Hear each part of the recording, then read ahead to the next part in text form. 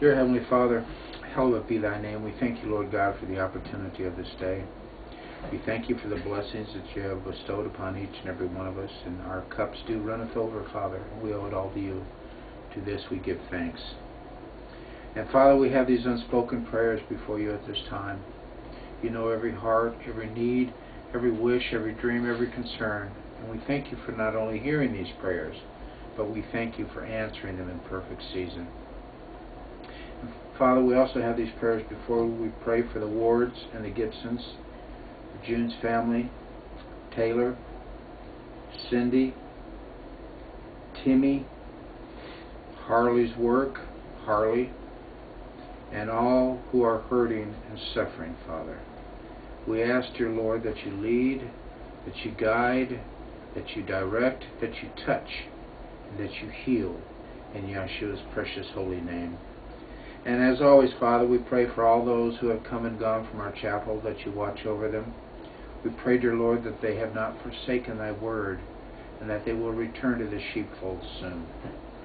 And as always, Father, we pray for Israel and our nation, for thy kingdom to come, knowing that it will be thy will that will be done on this earth as it is in heaven, to which we say, Come, Lord, come, for we are ready for what lies before us. Father, we pray for those first responders every day. They're on the front lines helping your children. We pray for their safety and their endurance, as well as our military who are in harm's way or who are about to go into harm's way for their safety and speedy return home. And Father, we always pray for the lost, those that do not have an opportunity this day to receive thy truth. Now, Father, I pray that you open up our eyes that we may see. I pray that you open up our ears that we may hear thy words as it is written, as it will be you that speaks to us this day. In Yeshua's precious holy name we pray. Amen. Thank you, Father. You'll get home all right. I guess. Uh, he's, he's a secretive kind of person, but uh, uh, we went round and round with him about letting us know about future events, but uh, he's, he, he wants to be in that incognito kind of thing, so we'll just give grant him his wishes. Yeah. Uh, he wants to uh, me to notify him about what uh, he gave me some kind of um, some kind of inclination of the end times of of a new uh, nation coming from the north that uh, we haven't talked about, and he wanted me to look that up and then give him a call. So that I will do. Um, but also, um, what's important is is in this book of Lamentations that we're continuing in. We ended in chapter one with verse sixteen. Um, we know how the book of Lamentations is basically, a, of course, it's a poem, but it's really a sad song about the state of affairs of Israel, the state of affairs of Judah and Benjamin. And wh- why do I separate the two? Because uh, uh, Israel, in, in those days, the ten northern tribes were already taken into captivity. 200 years prior to Judah and um, Benjamin. And you would think that once Judah and Benjamin saw what took place with the ten northern tribes and why it happened, that it would get their attention. But we know that's not the case. So they're going into captivity as well because of harlotry, idolatry, uh, basically sin against our Father. And have you ever asked yourself or had someone ask you, well, why did Israel and Judah have to pay all this? Why not all the other nations of the world that had to sin? What would you tell them? Because they were the chosen people. They were the chosen people. They were given the gift first. It was up to them. Why they were the they were the first fruit. Yes. Why why were they chosen? I don't think there's any rhyme or reason. I think they just. I believe there's God's I believe there's a rhyme and reason, but I don't believe there's a rhyme and reason that's written. What do you I think? believe, you know, knowing the first earth and first heaven age, of who actually stood by our father. Okay. Uh, that's that's the only inclination, which I can't document. Mm-mm. I can't document that they did. I don't know what anybody did then. And who Yes. knows the mind of God? Well, Father, Father knew, Father put us all where we are hmm and put us in line for what happens with us as far as what nation we're in and all that stuff. So, hmm and it, they're the apple of his eye. So he knew that. I think, from, like you say, from the first earth. I do too, but again, I can't document that. Right. See, it's it's hard. It's easy for us to come together as a group and say, well, this is what I believe and why I believe it, but it's not written.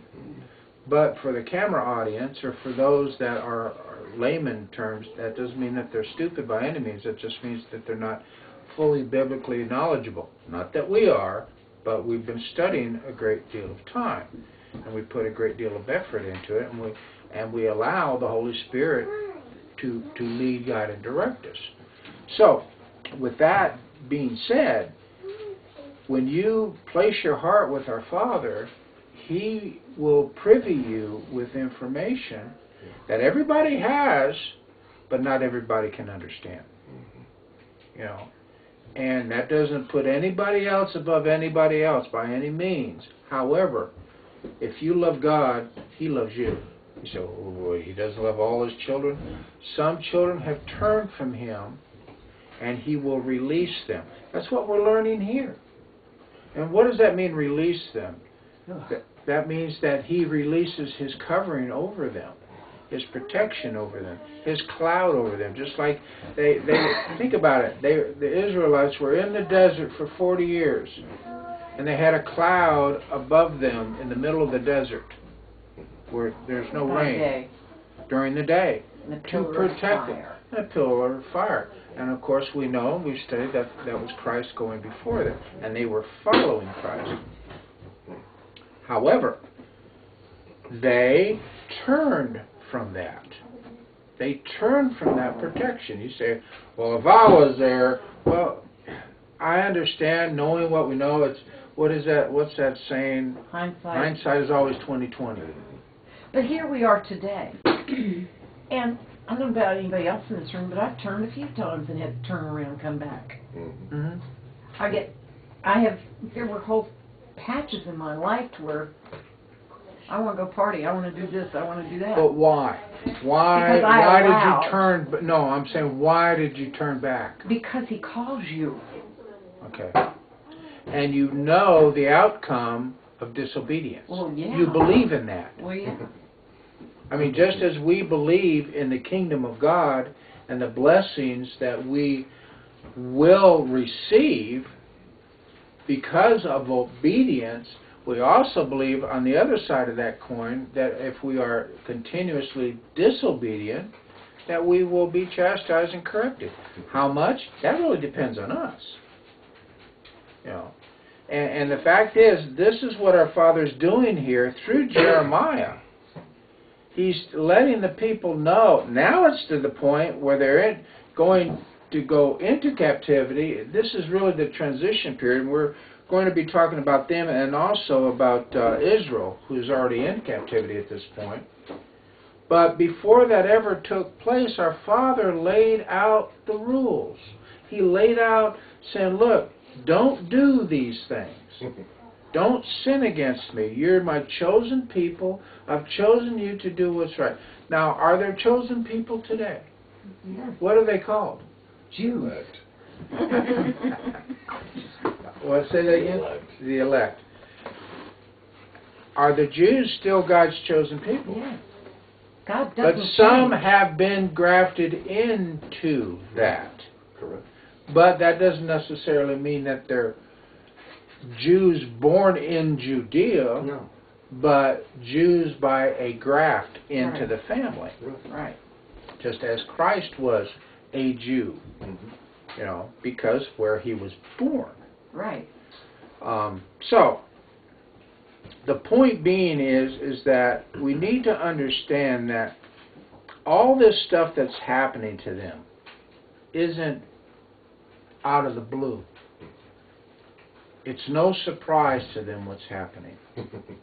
And it should be no surprise to us today what will happen if we are not obedient to our Father. Now, some people don't want to do that.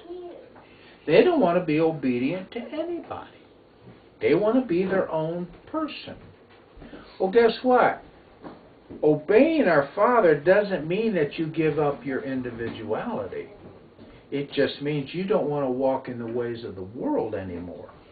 You can be just as individual from anybody else. Would you say Jeremiah was an individual uh, from from all the other groups at the time? Of course he was. You know. So our Father doesn't want us to be cookie cutter Christians.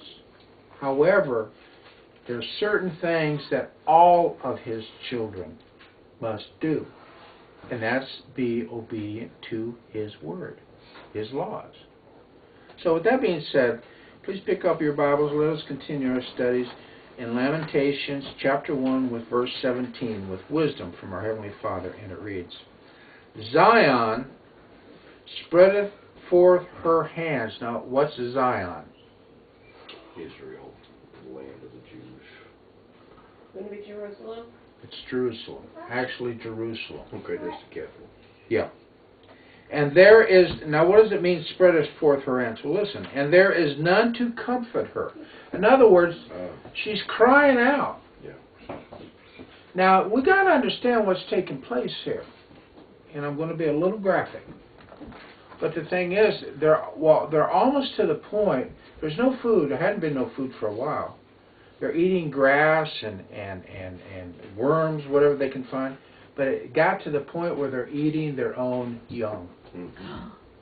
nine inches and smaller. Oh, God. Yes. Where is that at? We'll we'll get there. Yeah.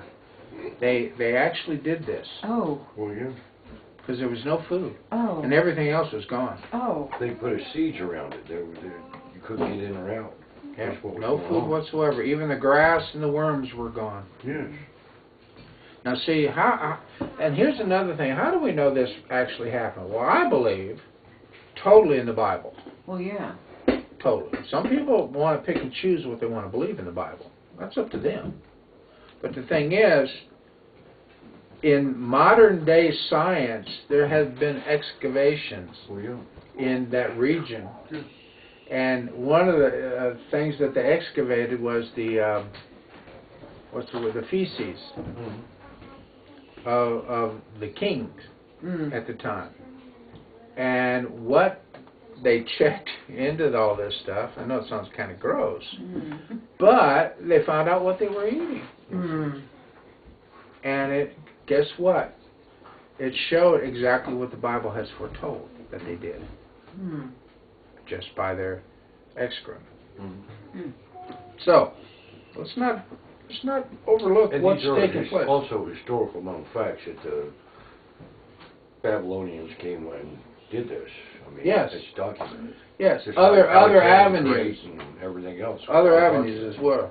Mm-hmm. History So there, there's none to comfort her. the Lord hath commanded concerning Jacob. Now, at this particular moment, can, Babby, can you turn that that air down just a little bit so it won't keep coming on, please? Thank you.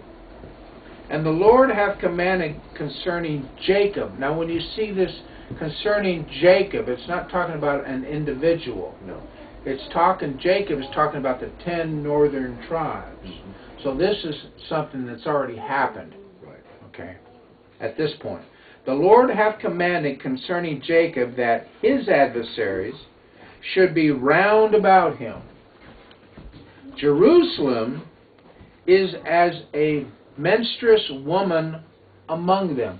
So he's he's basically classifying Jerusalem doing the same exact thing that the ten northern tribes had been doing.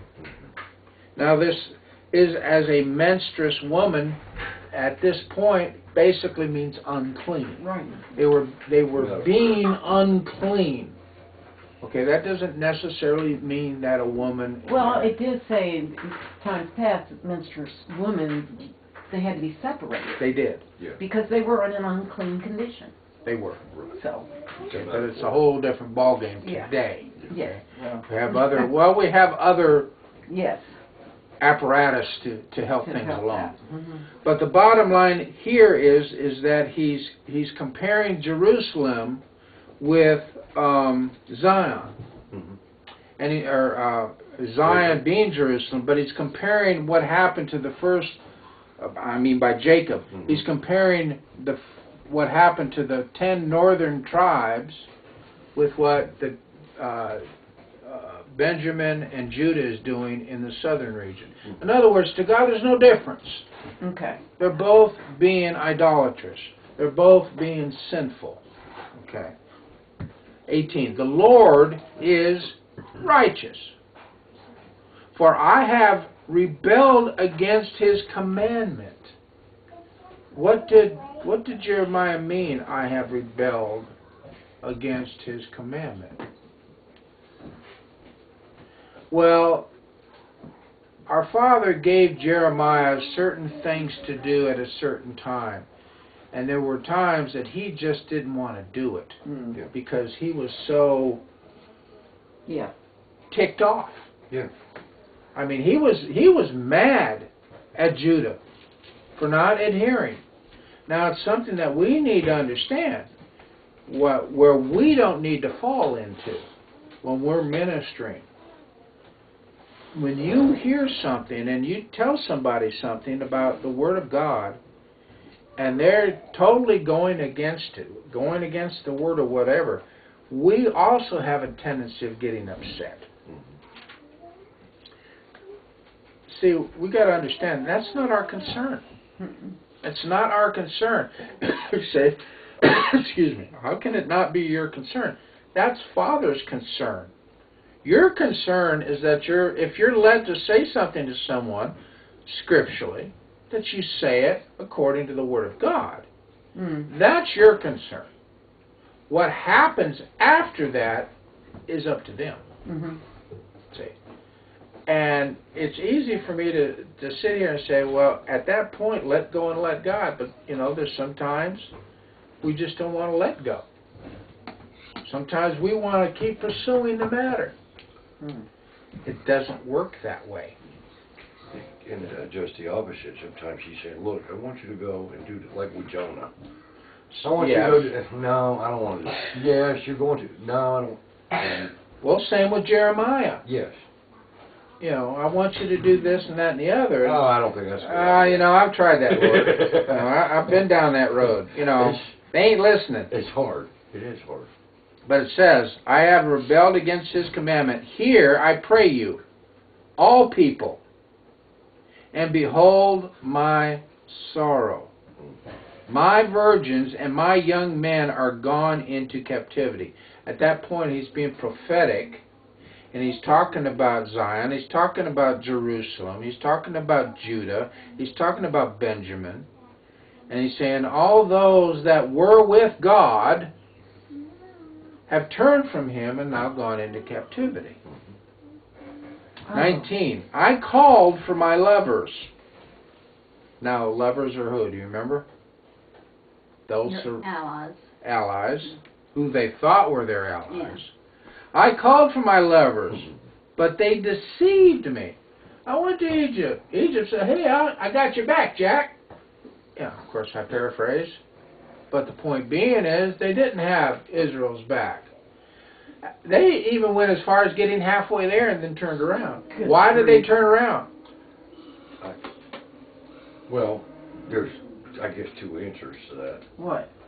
You could say it's God's will, but they were had they had a, like a little secret meeting, I think, between the Babylonians and the Egyptians, and they said, "Look, if you'll just stand aside, we'll split some stuff up with you, and we won't harm you." And But you're that's that's what happened. Yes. But the thing is, the reason that happened is because God moved in the enemy's heart. cut it Just like he, God moved in Pharaoh's heart. Mhm. See, a lot of people say, well, Pharaoh was being stubborn. No, it says in Scripture, this is when Israel was, was uh, in 400 years of bondage, and Moses was there saying, let my people go. Well, the thing is, I I think it was after the second or third plague, Pharaoh was going to release them. Hmm. But it was our Father heart who was hard. hardened his heart. I had uh, like a. Have you ever had those snap epiphanies? You know, when you read something in the Word and it, all everything, it's a whole thought it, in one fell swoop. That's the Holy Spirit, yes. And I, we we were just reading this, and I got my virgins and my young men are gone into captivity, and as clear as a bell in my head, it said, everyone that leaves God is led into captivity. hmm Yes, absolutely. Everyone is in captivity. That's They may not be in Israel, but they're in captivity. Yeah, they're in bondage of some kind. Yeah. That's right. You're 100% correct. 19. I called for my lovers, but they deceived me. My priests and mine elders gave up the ghost, or basically means gave up the spirit in the city. Mhm. They, they gave up. Now, now tell me, when you're with God, who is a majority, I don't care how small a group, would you ever give up? Ever? If God says, this is what I want you to do. I mean, you would go in the lion's den, wouldn't you? If he called you to do it? He'd have to strengthen me to do it. Well, that's the point. He would. See, that's the point. But the elders and the priests, they're supposed to be leading the people, gave up. Their spirit was gone. While they sought their meat to relieve their souls. Where's God in this? None. See, they're trying to make their own path here without God. It's very important to understand. Without God, they're trying to make their own path. Behold, verse 20, O Lord, for I am in distress. My bowels are troubled.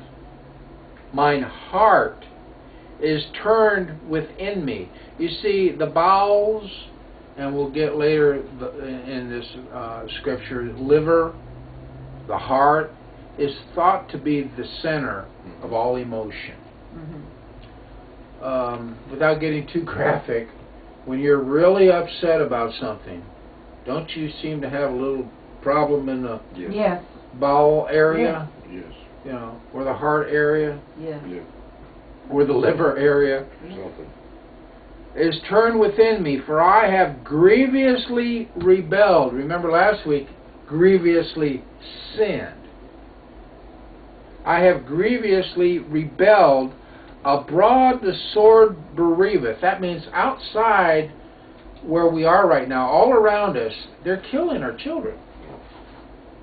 They're killing our, our fathers. They're killing our virgins with the sword. You know, because anybody that would leave the area would be killed. Well, guess what? They were being killed in the city Yes. by famine. Right. By famine. Yeah. In other words, they were paying the price. At home, where they were, there is as death. Because they're dying. They're starving to death. Now, now think about being between a rock and a hard place. Mhm. Well, if I stay here, I'm going to die. Slowly. If I go out very slowly, Yeah. if I go out there, hey, at least it'll be quicker, but I'm going to die anyways. Right. But see, the human body wants to survive. Well, yeah.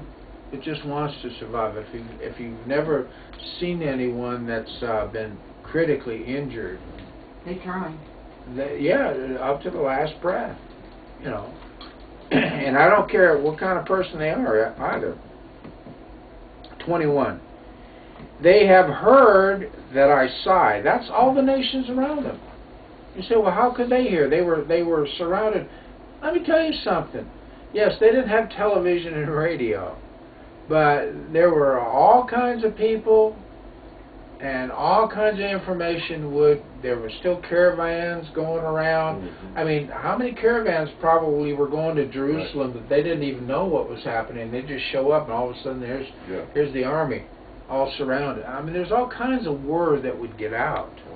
And that's what this is talking about they have heard this is heard jeremiah that i sigh there is none to comfort me none on earth.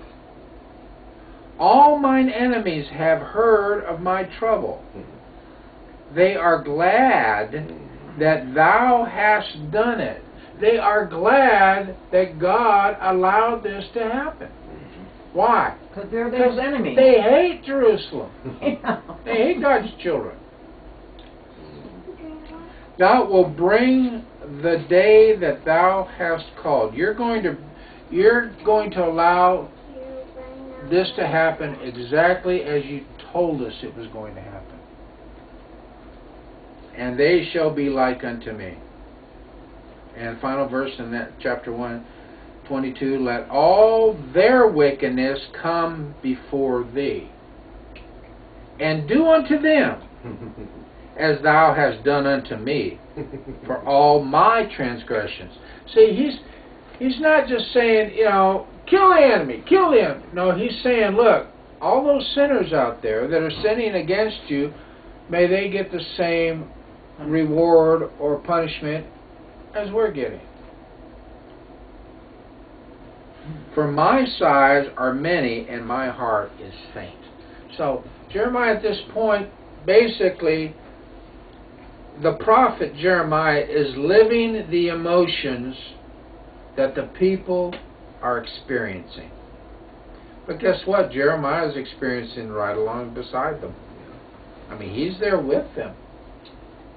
You know, he, he went through the fam. He didn't have nothing to eat either. And think about it, when he's a prisoner, they're supposed to feed him. Yeah, right. You know, Yeah.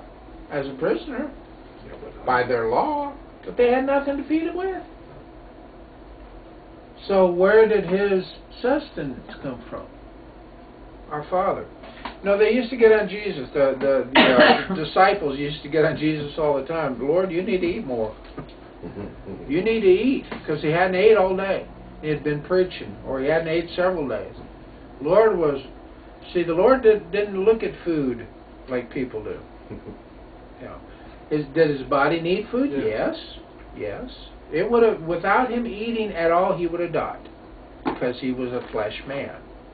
But he was so And full water. of spirit that But he didn't look at it as we do. He just he used food as a tool just to keep going. exactly. not something that's overabundance.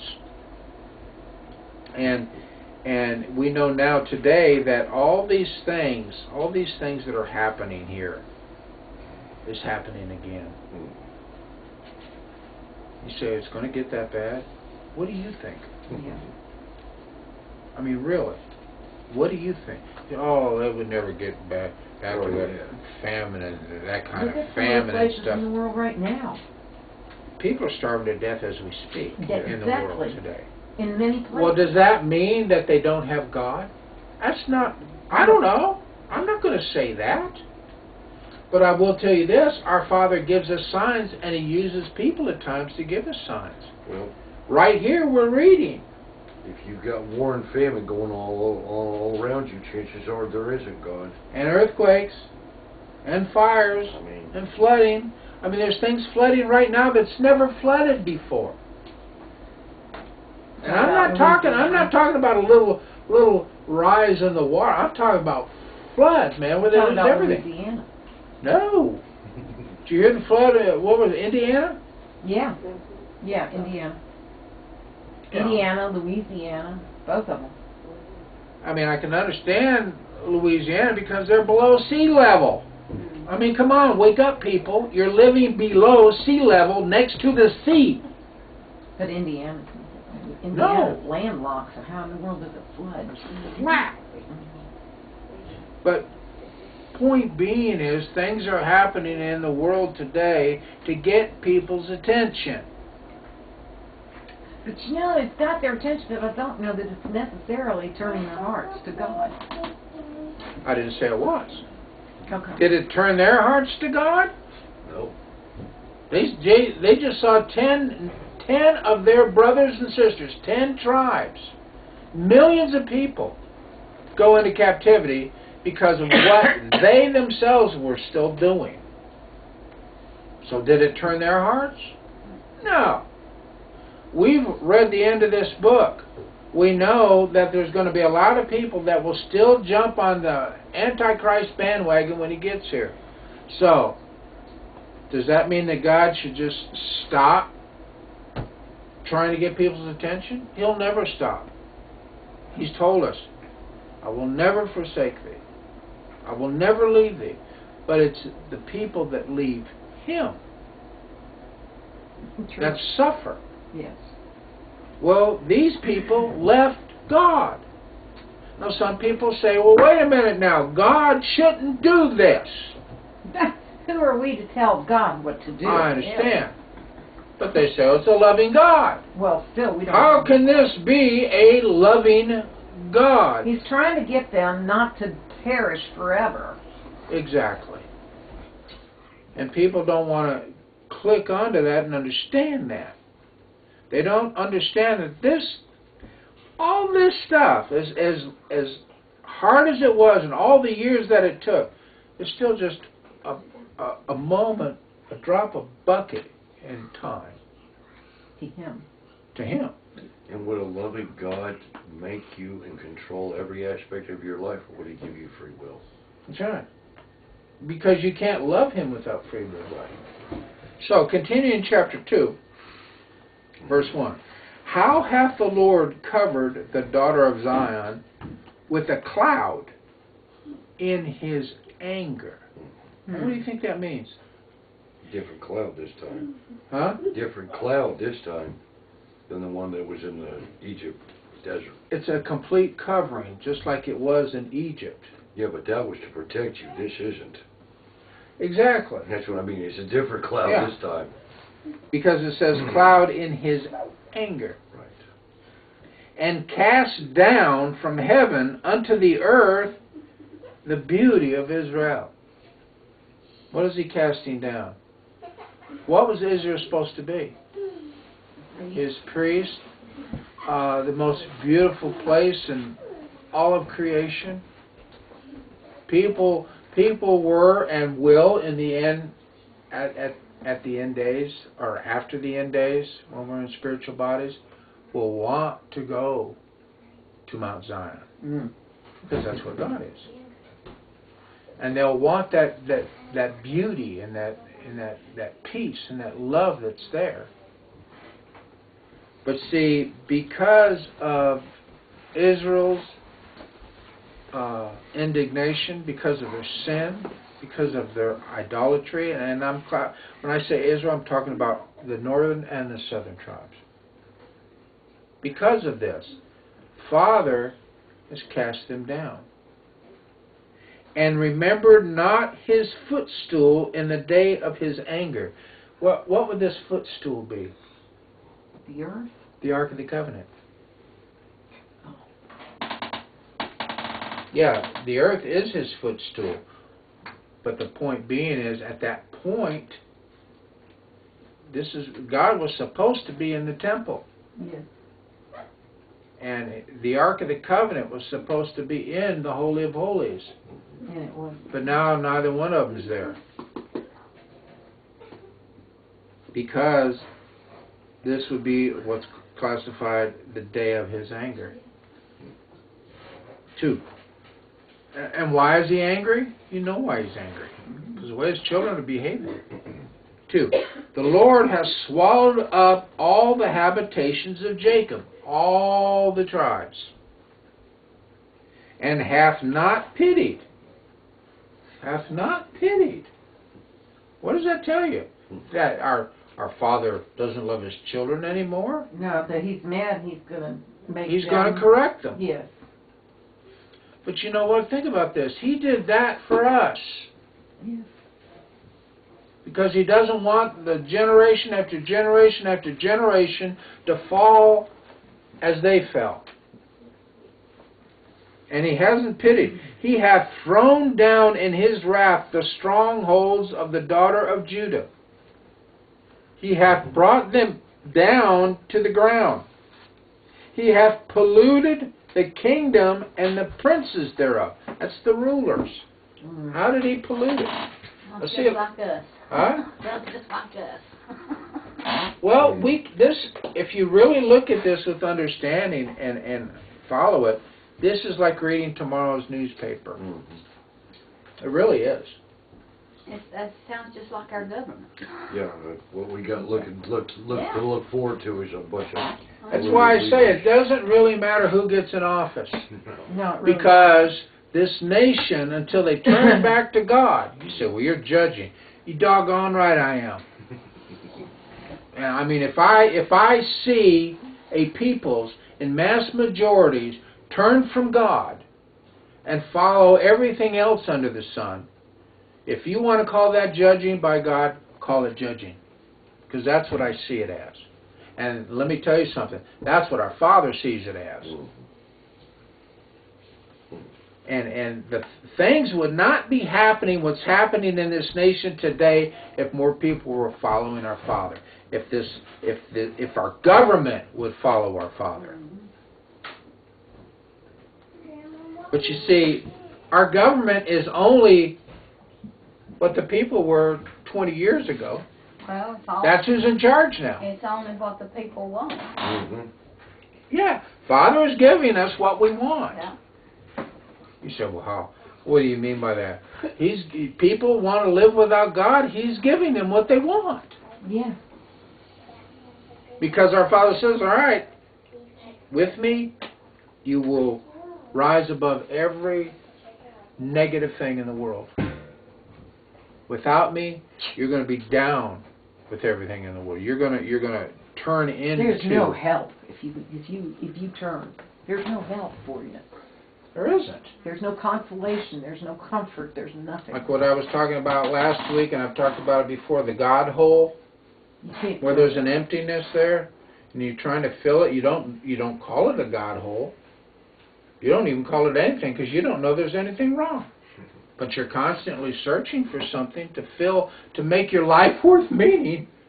I don't mean to joke at that but uh, how many times have you heard people say oh what's the meaning of life? or why am i here? I mean with god you know these things. You know why you're here. And you know what you're supposed to be. You may not know what position at times as you're growing up, you know, well, I don't know what the Lord's got in store for me, you know, but I know I'm going to be doing something. But other people say, "Oh, poor me.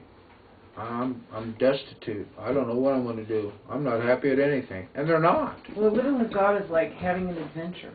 You never know where this is going to take you. You never know what's going to happen. An adventure. Well, that's true, but you know the ending. Well, yeah, but it, the the journey along the way is a pure D adventure. But and, and when I say ending, I'm talking about ending the flesh. yes, I I understand. people people just they just don't they just don't want to let go and let God. And that's what's happened here. And these are people who knew God. Let's not over over I don't want to overemphasize this. Well, that's the scariest part of the whole thing. They knew God. And they turned from him. They knew of his protection and his love and their their their claim to fame, so to speak. But they turned from it all. Makes no sense. Just doesn't make any sense. But the same thing's happening today. Verse 3, am I? Mm-hmm. He hath cut off in his fierce anger all the horn of Israel. What's horn? Power. Huh? Power. Power. He hath drawn back his right hand. What's his right hand? Power. Also power. He hath drawn back his right hand from before the enemy.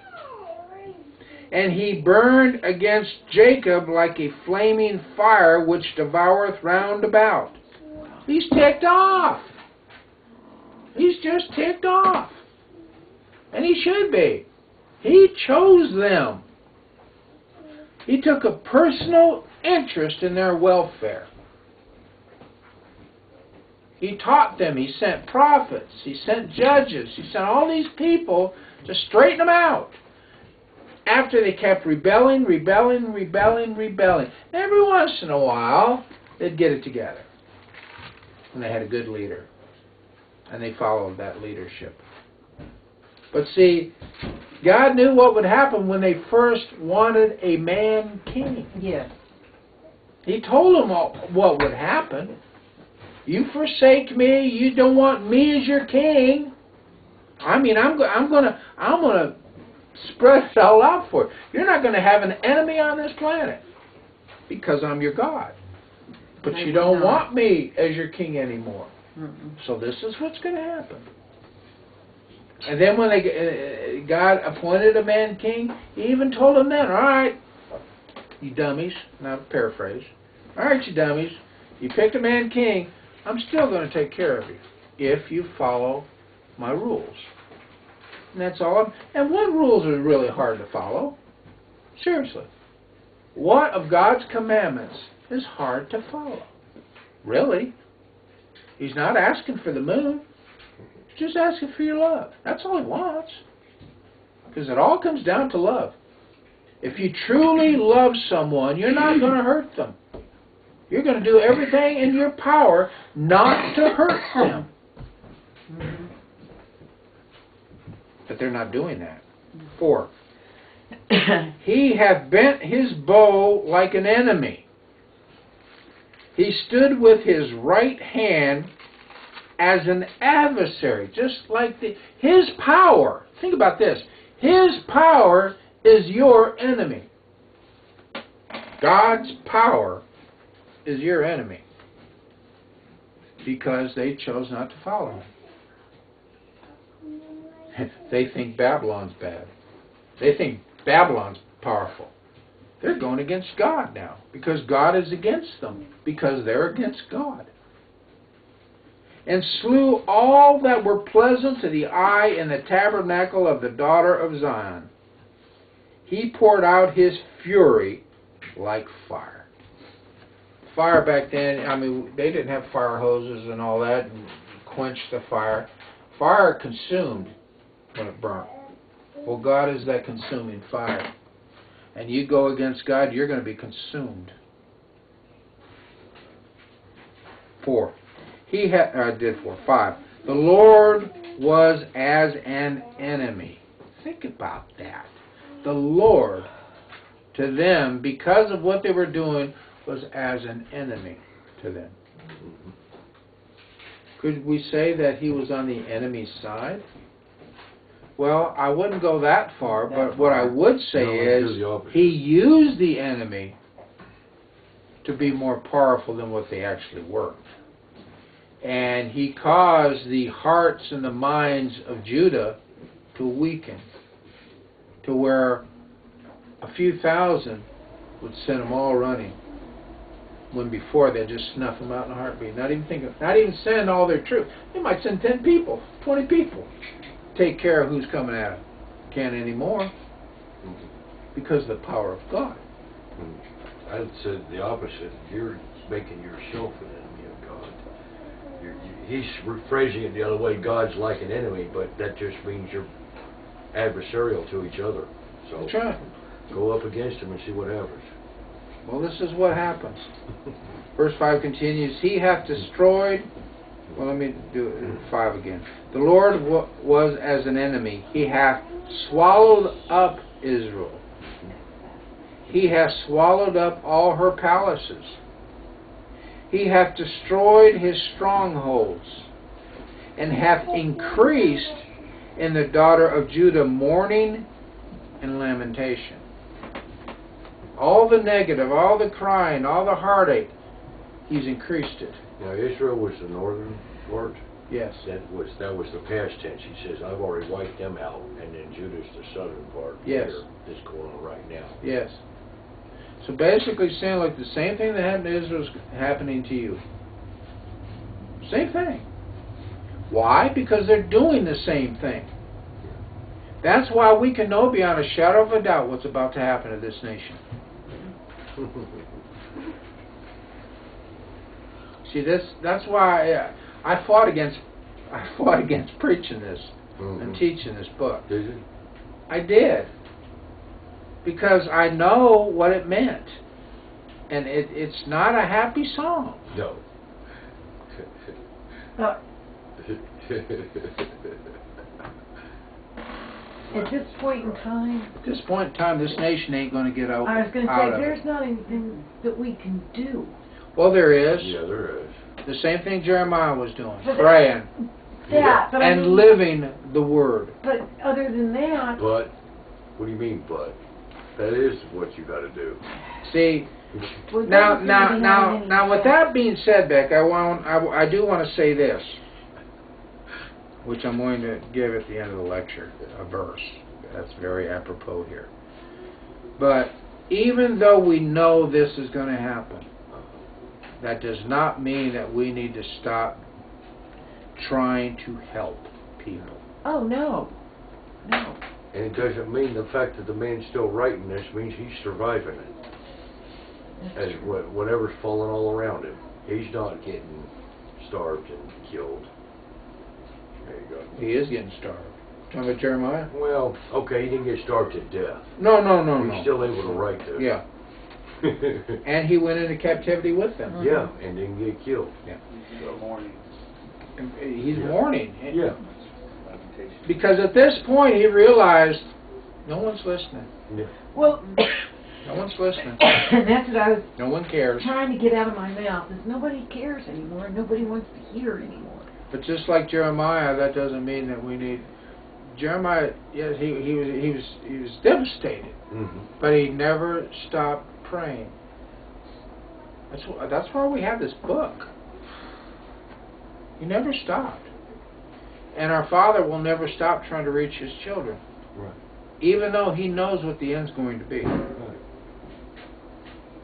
I talk about love. Well, and there are a lot of people who have been very hurt by different churches. And I feel like they've been so hurt that they won't hear what we have to say until. Not. Well, see, here's another thing, and maybe this. And it's almost like This saying really it's not real- their fault. This really isn't off the record, I guess, because I really feel that as of late, this is why Donna and I have been moved, because we're diligently practicing now music. Okay. And we've both been led that saying the message that we have today to the churches, mainstream churches today, we won't even get in the door, but music will. Now, we're mixing the old gospel hymns with our new songs. Not not the rock songs, but we're even changing our old rock songs into gospel hymns again. To where we're taking all the hard rocking stuff that we're doing, it's all mellowed now. Hmm. And um, we feel very strongly that that's what we're being moved to do, just to plant another seed. Now we may never, once we go to these different churches and play, we may never be asked to go back again. That's that's fine, but the seed was already planted, and that's what's important. hmm And that's what we really feel right now. Not that we're giving this up. I actually know somebody that told me they were saved not through the word but through the Mhm. music. I know a couple that's, that's, that's their worship is process, is music. Huh. So that's what we're being led to do right now. We're we've got our fingers down. I got my calluses back now. So, um, but now we're we're we're on the verge. Right now, I'm working with Don on on bass, new bass uh, fingering. That's uh, our next step, and but she'll pick that up. She's already got half of it already. So uh, it's coming. It's coming. And what better time to play on Sundays? That's true. Oh yeah. Because we never had that opportunity before. Right. Yeah, and Wednesday nights. It's a coming, Right. Lord willing. Verse 6. And he hath violently taken away his tabernacle, as if it were of a garden. How is a garden taken away? By drought. Drought, Famine.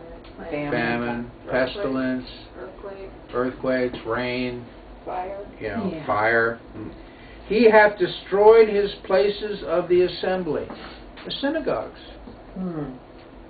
The Lord hath caused the solemn feasts and Sabbaths to be forgotten in Zion. They're, they're no longer doing them. It's hard to, In Zion. hard to have a feast when you don't have any food. Well, that that's true. And also, also, uh, this in Zion. Remember, they were taken out of Zion. So they're no like they. The people finally started coming back around to the Lord and started observing His His um, holy days, but they weren't in Zion After they got taken out of cap, into captivity. in the captivity. Okay. and hath despised in the indignation of his anger the king and the priest. Mhm. Those rulers. Man king. And those you gotta understand what the priests were doing back then. The priest, if to, to recall, especially in Jeremiah, the priest of the day, not Jeremiah, but the priest of the so-called kingdom, were going to the to the king saying, "Oh, don't worry about the Babylonians. Don't worry about the Chaldeans. Don't worry about all these people. God is powerful. He's going to protect you. You're not going to go into captivity. Don't worry about it. Hmm. We're more powerful." See. But none of that information ever came from our Father. It was just them blowing up smoke. Because they weren't in contact with their Father, and our Father was not in contact with them. Mhm. But they, oh man, they played a big old part. You know, oh none of this. Oh, don't worry about famine and pestilence. Now Jeremiah's coming in saying, "Hey, this is going to happen. You can count on it. this. Is, thus saith the Lord." But they'd say, "Well, thus saith the Lord. This ain't going to happen." Yes. That brings to mind of kind of what goes on today in churches. Of, well, you don't need to worry about the end times and the tribulation. You're not going to be here. Yeah. God's got you. You're gone. You're not going to have to worry about it. Same Yeah. principle.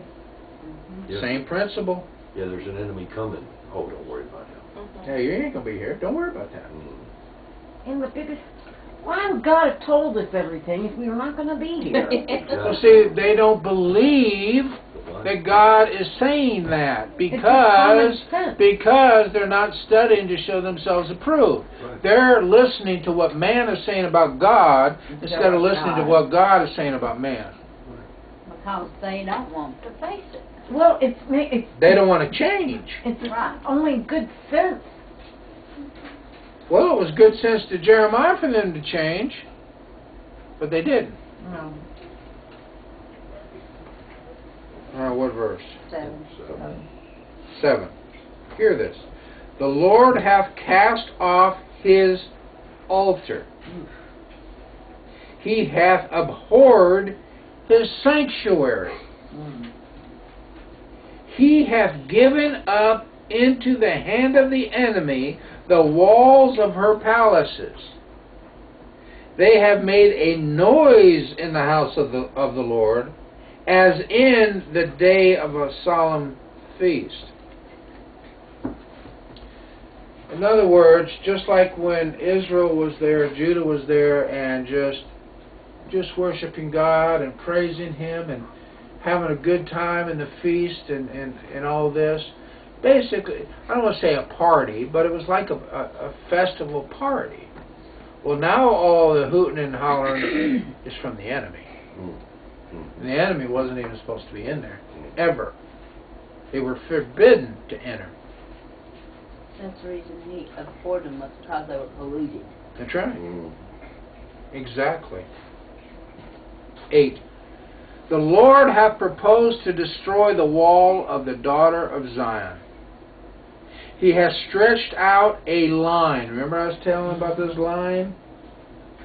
He hath stretched out a line. He hath not withdrawn his hand from destroying. In other words, he said, Look, don't cross this.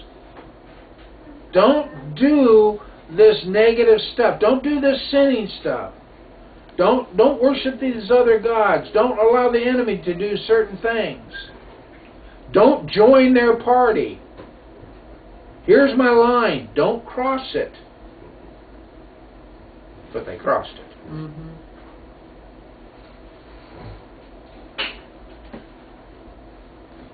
Therefore he made the rampart What's a rampart? It's a wall or protection. No, a rampart is basically like you got a wall and you build this rampart. It's like a bridge that goes up that wall. You can't you can't bring the wall down, so you build dirt on dirt on dirt on dirt until you can get up and go over the wall. Therefore he made the rampart and the wall to lament. They languished together. See, the people wanted to get out of Jerusalem. So they were trying all kinds of different ways of getting out, but they couldn't. Couldn't get out. Hmm. Nine. Her gates are sunk into the ground. He hath destroyed and broken her bars, her protection. Her king, notice the lowercase k, her king and her princes are among the Gentiles, meaning among the nations. In other words, they're no different now. They're no, they're- they're not above the nations of the world. They're part of the world. Right. Yeah, the the Babylonian Gentiles were coming to be their king now, taking Yeah. them back into captivity. Hear this, hear this, and don't overlook this. The law is no more. Oh dear. There you go. You said, you did it. The law is no more. That law I gave you, Mhm. it's no more. You you for you've forsaken me. You you you don't want to follow anything that I've laid out. Mhm. So that law I told you, all this stuff, now it's going to happen. All this negative is going to come at you, and you're not going to be obedient and follow my laws anymore. So the laws, the law's nothing to you. Yes. It's no more. It's irrelevant. Her prophets also find no vision from the Lord. Her prophets. See, her prophets weren't following God. They were saying, Thus saith the Lord, you're not going to go into captivity. Mm-hmm. We're going to defeat the enemy. You're not going to go in famine. You're not going to have pestilence. But Jeremiah knew better. and He told them. But all their all their big hooplas was completely opposite of what was true and they took it hook, line, and sinker. They believed it. Why?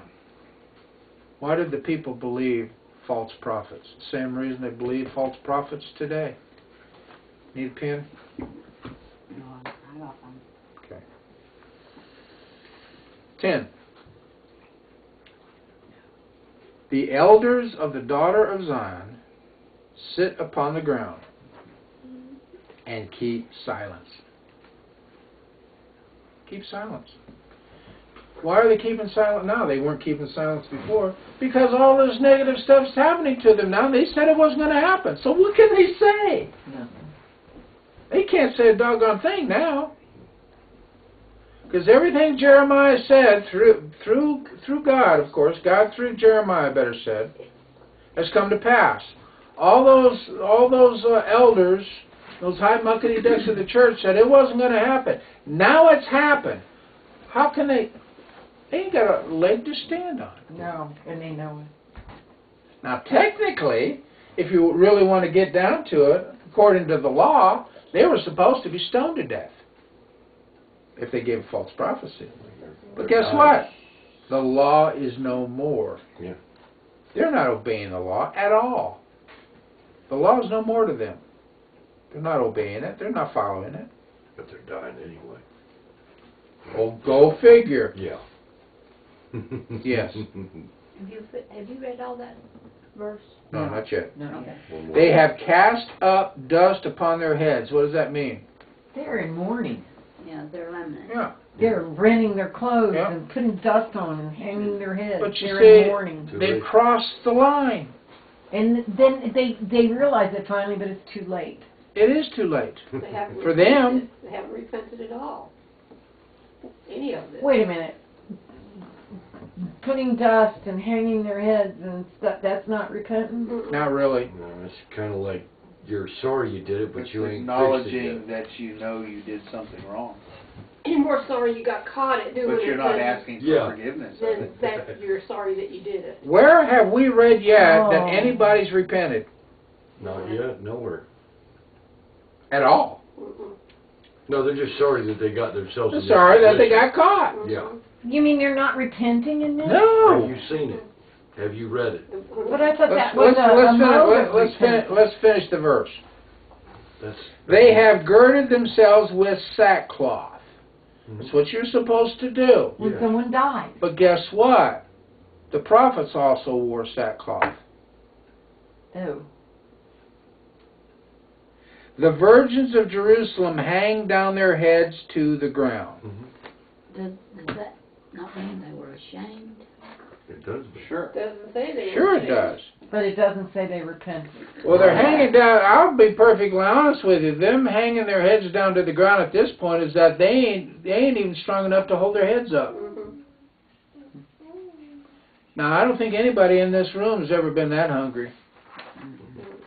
But these people are literally, slowly starving to death. So of course they're not happy. Even to the point where, like I talked about earlier, since they're listening now, about their own young. it. Mhm. Mm. Now, this happened. That's why it says in verse 11, Mine eyes do fail with tears. My bowels are troubled. My liver is poured upon the earth. Again, this is the bowels, the liver, the heart is thought to be the center of all emotion. And when you're in complete distress, let me tell you, your body rebels. Mm-hmm. I mean, the first thing that usually happens when problems occur, we start losing a little bit of sleep. But if it continues and continues and gets worse and worse, we literally get sick. Mm-hmm. Mhm. Yes, we do. Now ask me how I know this. Experience? Yeah. And it's not a happy place to be. No. Other than it's if it's in a place where you need to get to repentance and get down on your knees and start really being real with our Father. For the destruction of the daughter of my people. Let me read that whole thing again. Mine eyes do fail with tears, my bowels are troubled, my liver is poured upon the earth for the destruction of the daughter of my people. He's sick. He's sick over this. Literally Mm-hmm. because the children and the sucklings, that means the uh, faint, swoon in the streets of the city. Why? They're dying, slowly dying. No food. 12. They say to their mothers, Where is corn and wine? Mhm. Now think about the kids. Mhm. They don't. You see, that's another thing. People say, well, wait a minute now. Children didn't do anything. Children don't know any better. Why have they got to go through this? What would you tell somebody? That's a tough one. I mean, are not the children innocent? I mean, Yes. we we Yes. that's God's word. Yes.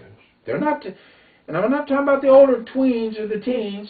I'm talking about children. And the fathers and the mothers brought it down on the children. That's what I was just about to How- say. Why? where the sin Wait a minute now, the children aren't supposed to suffer. Exactly. No, they're not supposed They're, to. they're the first ones to die though, because they're, they're not getting fed. They're, they're weak. But the children aren't supposed to be responsible for the sins of the parents. They're not. They're not. So Well, what would you tell somebody who say, brings this up? I Well, would why, say- why are they suffering? What do you want God to do? Put, put an orphanage outside the city and just bring all the kids out? What's he supposed to do? Those are your children. Those children were raised Yes. in, Education. in pagan, paganistic ways. So in other words, the children are doing what their parents are teaching them. Mhm. Not necessarily if they're little babies, Not if they're babies. but their All right, let's parents. take let's take it to the baby thing then. We can we can say you know kids old enough to understand about the ways of the Lord and they're being taught. but Okay, let's take it to the earth Or- suckling. Yeah, they're right. They, they don't even can't even speak yet. They're baby babies. Yes. Maybe some of them can't even walk. Okay. Well, if they're suckling, they probably can't. That's my point. And if they're sucklings and their mother is, is starving to death, then they're starving as well. Oh, absolutely. And why is she? No, there's no doubt that the babies are suffering. But we gotta ask why. Because of the parents. Yes. But they're not supposed to suffer what the parents are doing. Here's my answer. I do not know the answer to this question. Well, if the children are weak and smaller, like I said, they're going to die first, thereby being taken out of the equation, thereby no more suffering. Well, that's a, Logical. well, that's, that's, that's a, a a rational explanation of a terrible event, but. uh, Doesn't give you that- reason. Let that me won't- answer. it Let me answer it. Right. Let me answer it this way. Why, what, This is God's the so only way I know how to doesn't he do answer it. something about it? The only way I know how to answer it is where is the best place in the world to be? Exactly. Where's the With best God. place No more suffering. for you to be where there's no more suffering ever again? Okay. But the three months that it took to get there where you were dying and suffering, that's okay. I don't think it took three months Well. for them to die. Not being. I really don't. Not being young, that young. Not being that young, but the average person. And, you know, I don't The average person, days the average food. person, but we're talking babies. Babies go out a whole lot quicker. Well, two days of starving ain't no fun either. No, it's not. Okay. But that's what, now, I'm gonna play the devil's advocate here, that's what the people are gonna say. I Why would God understand. let them suffer two days? The thing Why would is, he let them suffer here, two here's the point. You're always going to run across people that are going to want to try to find anything negative they can about God. Hmm. And they're going to use this, Yeah. among I other understand things, that, It's but to do little that. Herein is, is another point, that their suffering, children's suffering, is a visual aid to the adults. In other words, they're having to witness this, Yeah, and thereby maybe is a tool to try to get them to repent. yeah. What verse was this? Seventeen, is it? No. No. Uh, eleven? Eleven. Eleven. But a lot of times, the parents don't see that the kids are suffering. Yeah, a lot of when they're standing there situations- screaming in hunger, Well, yeah, I, they, they I will. understand that, but I'm thinking about other things, I didn't hear that. I'm other sorry. situations. Well, in other situations, and she said the parents notice, but sometimes they don't. Yeah. We have it today, when you have the Right. babies born drug addicted and stuff like that, the mothers just keep right on going and the mm-hmm. baby's suffer. Why does God let that happen? What, like I said, what's he supposed to do? Well, the thing is, our Father is a merciful Father. Mm-hmm. What responsibility does the mother have? And and to see one of his ch- see our Father is not going to look at a baby baby any different than an 80 year old man or woman. Right, it's the soul. He's no respecter of person because that's a soul. Those souls are all a certain age, mm-hmm. different subject for a different time. So he's going to take them out first because they're innocent, and rightfully so. Mhm. Because they're all going to be taken out one way or the other. Mhm. We're going to end here today, but I do want to I want to leave you on a positive note Yeah. Yeah, because this is a hard this is a hard lesson. For sure it is. And this this particular verse I carry with me in my wallet. As a matter of fact, I just read it and I forgot actually where it was in the Bible. Mm. I've, I've, I go over it so many times I can quote you from the, the knowledge of it, but I, I couldn't remember where it was in the Bible, so I had to go look it up. That's what I was looking up in my in my room. Mm. But Second Chronicles, you've heard this many times, chapter seven, verse fourteen. If my people, Yeah. which are called by my name, Humbly. shall humble themselves and pray and seek my face and turn from their wicked ways. Then will I hear from heaven and will forgive their sin And heal their land. and will hear their land. What chapter?